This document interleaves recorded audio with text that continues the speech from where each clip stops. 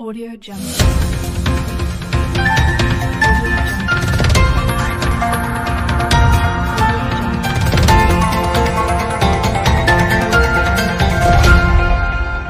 Audio Jungle. የታህሳስ 25 2014 ዓ ም የቢቢሲ አማርኛ የራዲዮ ስርጭት ተጀምሯል። አድማጮቻችን እንደምን አመሻችሁ። በዛሬው መሰናዷችን የአቶ ጀዋር መሐመድ ቤተሰቦችና የግል ሐኪም በቁጥጥር ስር ውለው ነበር ስለመባሉ፣ ወደ ሰባት የሚሆኑ የአቶ ጀዋር ቤተሰቦችና የእሱ የግል ዶክተር የሆኑት ዶክተር ኤልሊ እሳቸው ቤት ውስጥ እንደ በቁጥጥር ስር እንደዋሉ ነበር የሰማነው። የሱዳን አለመረጋጋትና የሕዝብ አመፅ ወዴት ያመራ ይሆን? ባለሙያ አነጋግረናል። የህዝቡ ተቃውሞ ብቻ ሳይሆን ከተማዎች ውስጥ ሰላማዊ ተቃውሞ ብቻ ሳይሆን military ተቃውሞም ሊኖር ወይም ሊቀጥል ይችላል። እነዚህና ሌሎችንም ይዘናል። ስርጭታችንን በአጭር ሞገድ በሳተላይትና በፌስቡክ ማድመጥ ትችላላችሁ። ለቀጣይ 15 ደቂቃዎች አብራችሁን ቆዩ።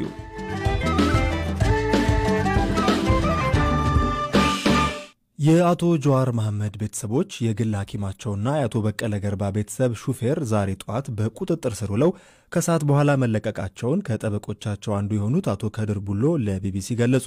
ስለተፈጠረው ነገር ቀጣዩን ማብራሪያ ሰጥተውናል። እንደሰማሁት ከሆነ ዛሬ አስራ ሁለት ሰዓት አካባቢ ነው የተባለው። ወደ ሰባት የሚሆኑ የጀዋር አቶ ጀዋር ቤተሰቦችና የእሱ የግል ዶክተር የሆኑት ዶክተር ኤልሊ እሳቸው ቤት ውስጥ እንደ በቁጥጥር ስር እንደዋሉ ነበር የሰማ ነው። በኋላ ላይ ወደ ወደ ስምንት ሰዓት አካባቢ እንዳለ እንግዲህ መለቀቃቸውን የሰማ ነው። ይሄን ያለው መረጃ የአቶ ጀዋር ቤተሰቦችና የግል ዶክተራቸውም ለምን በቁጥጥር ስር እንደዋሉ ማንስ በቁጥጥር ስር እንደዋላቸው መረጃው አላችሁ? እንግዲህ ምክንያቱ ምን እንደሆነ ያዘዘውና ያሰሩት ናቸው የሚያውቁት። እሱን የምናውቀው ነገር የለም። ግን I think እንደሰማውኝ ከሆነ እንግዲህ ከእነሱ ከ የጸጥታ ተቋማት አይደለም ሰዎቹ የልጁ የጀዋር ቤተሰቦች ቅድም እንግዲህ እሱን ጎብኛቸው ነበር። ዛሬ ከሰዓት በኋላ እንግዲህ እንደነገሩኝ ከሆነ የአዲስ አበባ ፖሊስ ነው የተባለው። እንደ አጋጣሚ ልክ አቶ ጀዋርን ጎብኝቻቸው በሚወጣበት ሰዓት የእሱን እነሱን ቤት ያደረሳቸውን የአቶ ጀዋር ሾፌር የነበረው ልጅ አግኝቸው ነበረ እና ቤት አድርሻቸውን የመጣሁት እና በሰላም ቤት ገብተዋል የሚል ነው የነገረኝ። ይሄን ያለው ከዚህ በኋላ ከአዲስ አበባ ፖሊስ ማብራሪያ ትጠይቃላችሁ ወይስ በፍርድ ቤት በኩል ጉዳዩን የምትከታተሉት ነው የሚሆነው? ወል እንግዲህ አንድ ነገር አለ።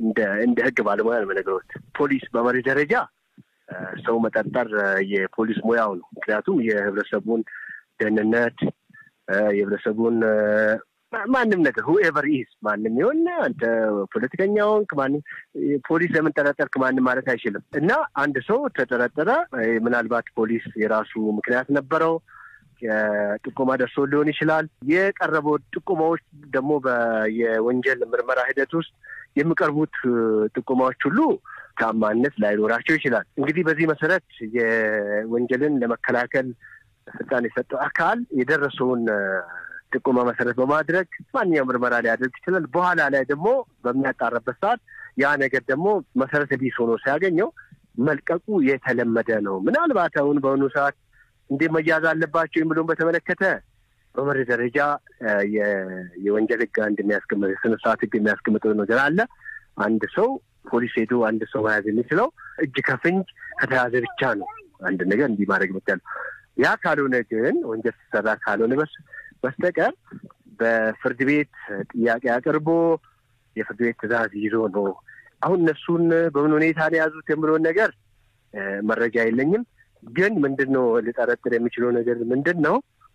እንደ ህግ ባለሙያ ይኸውን የታወጀው የአስቸኳይ ጊዜ አዋጅ ያህን ስልጣን የሚሰጣቸው ይመስለኛል። ምናልባት እሱን ተጠቅሞ ሊያደርጉት ይችላሉ የሚል ግምት ነው ያለኝ። ከዚህ መነሻ ይመስለኛል እኔ በጉዳዩ ዙሪያ ከአዲስ አበባ ፖሊስ ኮሚሽን ምላሽ ለማግኘት ያደረግነው ጥረት አልተሳካልንም።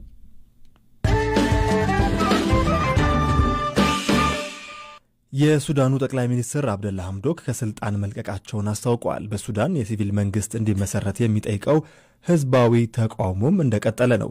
ወታደሮች ንጹሐን ዜጎችን እየገደሉ መሆኑ እየተገለጸ ሲሆን ዓለም አቀፉ ማህበረሰብም ሰልፈኞች ላይ የሚደርስን እንግልት ኮንኗል። ለመሆኑ የሐምዶክ ስልጣን መልቀቅ ሱዳንን ወዴት ይወስዳታል? ከኢትዮጵያ ጋር በሚያገናኟት ጉዳዮች ላይስ ምን ተጽዕኖ ይኖረዋል? ስንል የምስራቅ አፍሪካ ፖለቲካ ተንታኝ አብዱራህማን ሰይድን ጠይቀናል። በሲቪልና ወታደራዊ ኃይሉ መካከል ያለውን ክፍፍል ከማስረዳት ይጀምራሉ። በአሁኑ ጊዜ ሽግግር ስልጣኑ በተለይ የ sovereign council የሚሉት እነሱ chairman ኡ የወታደሩ ኃላፊ አልቡርሃን ነበር። November ላይ ስልጣኑን ለ civilian ማስረከብ ነበረበት፣ አላስረከበም። እንግዲህ ምንድን ነው የሚመስለው military ው ስልጣን መያዝ ነው የሚፈልገው፣ ህዝቡ ደግሞ ይሄንን አይፈልግም። በተለይ ደግሞ አመፁን የተካሄደው የወታደራዊ አስተዳደር በሲቪሊያን እንዲቀየር ነበር። በኢትዮጵያ አደራዳሪነት ሚሊታሪውና ሲቪሊያኑ አንድ ላይ ሆኖ የሽግግር መድረኩን አንድ ላይ ሆኖ እንዲመሩት ለሶስት ተኩል አመታት ማለት ነው። አሁን ሁለት አመታት አልፈዋል። አንድ አመት ተኩል ነው የቀረው። በዚህ አንድ አመት ተኩል ብዙ የሚሰራ ስራዎች ነበሩ። ለምርጫ ማዘጋጀት ነበረባቸው። ግን ምን ጀመሩ? መካሰስ ጀመሩ። ሁለቱ ኃይሎች የሲቪሊያኑ እና የሚሊታሪውን የሐምዶክ ከስልጣን መውጣት ለአልቡርሃን ያጋልጠዋል ማለት ነው። የሱዳን አለመረጋጋት ለቀጠናው ሊተርፍ እንደሚችልም አቶ አብዱራህማን ያስረዳሉ። አልቡርሃን ስልጣን ላይ ከቀጠለ ለሀገሪቱም ለቀጠናውም አፍሪካ ቀንድ ትንሽ ችግር ሊሆን ይችላል። አሜሪካኖች በአሁኑ ጊዜ በኢትዮጵያና በኤርትራ ያሉ መንግስታት የእምቢተኝነት ፖሊሲ እየተከተሉ ናቸው። በዛውም ላይ የአፍሪካ ቀንድ አንድ አይነት ትብብር ወይም ጥምረት ሊፈጥሩ እየሞከሩ እንደነበሩ ይታወቃል። ባለፈው ሁለት ዓመታት ከዚህ ተያይዞ የሚመጣው የቻይና ያላት ኢንቨስትመንት ይሁን ወይም influence እዛ አፍሪካ ቀንድ በተለይ ኢትዮጵያ ላይ እያደገ ስለሚመጣ የአፍሪካ ቀንድ ሀገራት በሙሉ በቻይና influence ስር ሊገቡ ይችላሉ የሚል ስጋት አለ መሰለኝ በአሜሪካ በኩል እና አሁን የተቀረችውን ሱዳን ናት ያለችው በአፍሪካ ቀንድ ማለት ነው እና ሱዳን በአልቡርሃን አማካኝነት የአሜሪካ መናኸሪያ እንድትሆን የምትችልበት ሁኔታ ሊፈጠር ይችላል። በአጠቃላይ የሱዳን ሁኔታ አስጊ ሁኔታ ላይ ነው ያለው። ሚሊተሪውም አይዞ የሚለው ከውጭ እንዳለ ይታወቃል። እሱ ደግሞ ለስልጣኑ ሲል ለህልውናው ሲል የሌሎች አገሮች ፖሊሲዎች አራማጅ ሊሆን ይችላል እዛ አፍሪካ ቀንድ። የሱዳን ህዝብ ተቃውሞ ወደ ወታደሩ ሊሻገር ይችላል የሚል ስጋት እንዳለም ተንታኙ ያስረዳሉ። ለሱዳኖቹ እንደ ትልቅ ኪሳራ ሊሆን ነው። military ው ተመልሶ ከመጣ አልቡርሃን ራሱ የአልበሺር ወታደር ነው የነበረው። በ military dictatorship ላይ ሊገባ ይችላል። ለጊዜው ምናልባት የኢኮኖሚው የሌላ ችግሮች በእርዳታ ምክንያት ሊያቃለው ይችላል ትንሽ ህዝቡን ዝም እንዲያስብለው፣ ግን ለህዝቡ ትልቅ ኪሳራ ስለሚሆን ህዝቡ ተቃውሞውን ሊቀጥል ይችላል። በተጨማሪም የተቀናቃኝ ኃይሎች ብረት ታጥቀው የሚዋጉ እነሱም ሊቀጥሉ ይችላሉ። ስለዚህ የህዝቡ ተቃውሞ ብቻ ሳይሆን ከተማዎች ውስጥ ሰላማዊ ተቃውሞ ብቻ ሳይሆን ሚሊተሪ ተቃውሞም ሊኖር ወይም ሊቀጥል ይችላል። በሱዳን የሚኖር የአስተዳደር ለውጥ ወይም ሽግሽግ ከኢትዮጵያ ጋር በድንበር ጉዳይ ባለው አለመግባባት እንዲሁም በህዳሴ ግድቡ ድርድር ላይ ምን ለውጥ ያመጣል ስንል ተንታኙን ጠይቀናል። ድንበሩ በሰላም የመፈታት እድሉ ትልቅ ነበር። አልቡርሃን የመጀመሪያዎቹ ሁለት ዓመታት ደህና ነበር፣ ግን ቀጥሎ የግብፅን ፖሊሲ መራመድ ጀምር የድንበሩን ልክ እንደ አዋዛጋቢ ነገር አድርጎ ሊያቀርበው ሞከረ ማለት ነው። በኢትዮጵያ በኩል የተሰጠው መልስ ይሄ ነገር በዲፕሎማሲ መፈታት ይቻላል፣ በተጨማሪም ተዋግተንም ከውጊያው በኋላ ተመልሰን ወደ ዲፕሎማሲው ነው የምንገባው። ስለዚህ ሳንዋጋ በዲፕሎማሲ ቢፈታ የተሻለ ነው። የሁለቱ ሀገሮች ኮሚሽን አለ የድንበር ኮሚሽን በሱ አድርጎ መታየት ይቻላል። የሰላም እጅ በኢትዮጵያ በኩል ለሱዳኖች ተሰንዝሮላቸው ነበር። ለዚህም ነው የሱዳን ሕዝብ ለኢትዮጵያ ትልቅ አክብሮት ነው ያለው። የአልቡርሃን ግን ራሱና ጥቂት አብሮቹ ናቸው። እነሱም ለሱዳን interest ሳይሆን ለግብፅና ለሌሎች ሀገሮች interest ነው ኢትዮጵያን ሊያስቸግሩት ወይም ከኢትዮጵያ ጋር ግጭት ሊፈጥሩ የሚፈልጉት ያሉት። ይህን interest እንግዲህ በግድቡና በድንበሩ ብቻ የታጠረ ላይሆን ይችላል።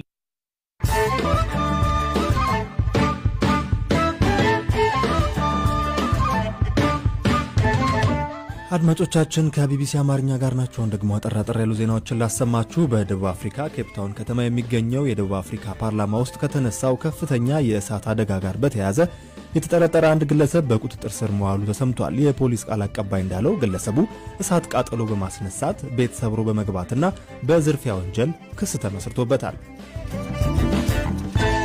እንግሊዝ የሁለተኛ ደረጃ ተማሪዎች ወደ ትምህርት ቤት ከመመለሳቸው በፊት ቢያንስ አንድ ጊዜ የኮቪድ-19 ምርመራ እንደሚያደርጉ መንግስት አስታውቋል። የትምህርት ሚኒስትሩ ናዲሂም ዛሃዊ እስከ ጥር 26 ድረስ በትምህርት ቤቶች የአፍና አፍንጫ መሸፈኛ ጭንብል መልበስ ግዴታ ነው ብለዋል። ለትምህርት ቤቶች የምርመራ ቁሳቁሶች እንደ አስፈላጊነቱ እንደሚቀርቡም ባለስልጣኑ አረጋግጠዋል። ትዊተር የአወዛጋቢዋን አሜሪካዊት ፖለቲከኛ ማርጆሪ ቴይለር የግል ገጹን ማገዱን አስታውቋል። የሪፐብሊካን ፓርቲ አባልና የአሜሪካ ሕግ አውጪዋ ገጻቸው የታገደባቸው የትዊተርን ሕግጋት በመተላለፋቸው በተለይ ደግሞ የኮቪድ-19 ወረርሽኝን አስመልክተው የሚለጥፉት መልእክት አደጋ ሊያስከትል የሚችል በመሆኑ ነው ሲል ድርጅቱ ገልጿል።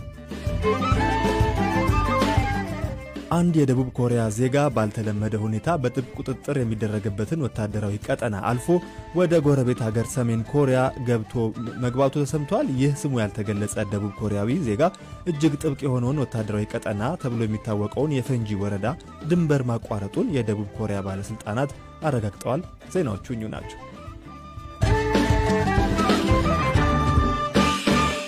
በሕገ ወጥ የሰዎች ዝውውር ለዓመታት ሲፈለግ የቆየው ትውልደ ኤርትራዊው የኔዘርላንድስ ዜጋ ናይሮቢ ውስጥ ተይዞ ለኔዘርላንድስ ተላልፎ መሰጠቱን የኬንያ ፖሊስ አስታወቀ።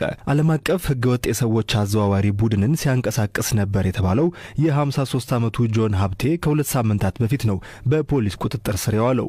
ግለሰቡን ለመያዝ ዓለም አቀፉ የፖሊስ ተቋም ኢንተርፖል አስቸኳይ የእስር ትዕዛዝ ማውጣቱን ተከትሎ የኬንያ ፖሊስ የወንጀል ምርመራ ቡድን አባላት በዋና ከተማዋ ናይሮቢ ዳርቻ ላይ በሚገኝ ስፍራ በቁጥጥር ስር እንደዋሉት ገልጸዋል። ተጠርጣሪው ናይሮቢ ውስጥ ለምን ያክል ጊዜ ተደብቆ እንደቆየ ባይታወቅም ከሁለት ሳምንት በፊት ነው በቁጥጥር ስር የዋለው። ግለሰቡ ወዲያውኑ ለኔዘርላንድስ ተላልፎ የተሰጠ በመሆኑ በአሁኑ ጊዜ እዚያው በእስር ላይ እንደሚገኝ ተገልጿል። ጆን ሀብቴ በድብቅ የሚንቀሳቀስ ዓለም አቀፍ በሕገ ወጥ መንገድ ሰዎችን የሚያዘዋውር ቡድን መሪ እንደሆነ እንደሚታመን ኢንተርፖል አመልክቶ በርካታ ሰዎችን ከአፍሪካ ወደ አውሮፓ በሕገ ወጥ መንገድ በማዘዋወር ወንጀል ተጠያቂ ነውም ብሏል። ግለሰቡ በተለይ በርካታ ኤርትራውያንን በእስያ በኩል ወደ አውሮፓ እንዲገቡ አድርገዋል ከተባሉ ቢያንስ አራት የተለያዩ የህገወጥ ሰዎች ዝውውር ወንጀሎች ጋር ስሙ ተያይዞ ይነሳል። የኬንያ ፖሊስ እንዳለው ጆን ሀብቴ ከተያዘ በኋላ የግለሰቡ በግዛቱ ውስጥ መቆየት ከሀገሪቱ ብሔራዊ ጥቅም ጋር የሚቃረን መሆኑን በመግለጽ በአገር ውስጥ ጉዳይ ሚኒስትሩ ዶክተር ፍሬድ ማቲያንጌ ትዕዛዝ ወዲያውኑ ለኔዘርላንድስ ተላልፎ ተሰጥቷል። ጆን ሀብቴ የፍርድ ሂደቱን በኔዘርላንድስ እስር ቤት ሆኖ የሚከታተል ሲሆን ጥፋተኛ ሆኖ ከተገኘ እስከ ስምንት ዓመት የሚደርስ እስር እንደሚጠብቀው ኢንተርፖል ገልጿል። ትውልደ ኤርትራዊው ጆን ሀብቴ በሚያውቁት ሰዎች ዘንድ ኦባማ የሚል ቅጽል ስም እንዳለው የሚነገር ሲሆን ስደተኞችን ከአፍሪካ የሩቅ ምስራቅ አገራት በሆኑት በሲንጋፖርና በፊሊፒንስ በኩል በማድረግ ወደ አውሮፓ ያዘዋውር እንደነበር ተገልጿል። ከወራት በፊት የኔዘርላንድስ አቃቤ ሕግ ሌላኛው ኤርትራዊና በሕገ ወጥ የሰዎች አዘዋዋሪነት የሚፈለገውን ኪዳኔ ዘካርያስ ሀብተ ማርያምን በሕግ በጥብቅ ከሚፈለጉ ሰዎች ዝርዝር ውስጥ ማካተቱን ይፋ ማድረጉ አይዘነጋም።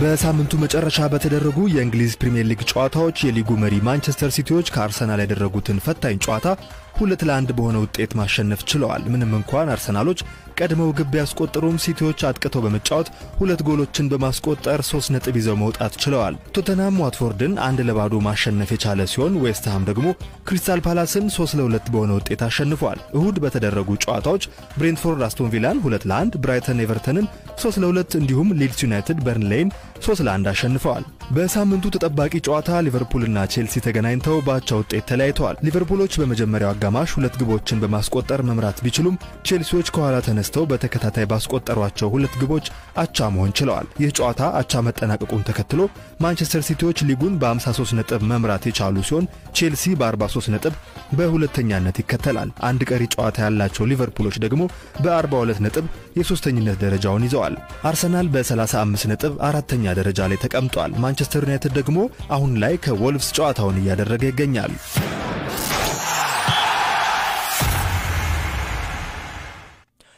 አድማጮቻችን እንግዲህ በዚሁ የዛሬውን የቢቢሲ አማርኛ ስርጭታችንን አጠናቀናል። ተጨማሪ መረጃ በድረገጻችን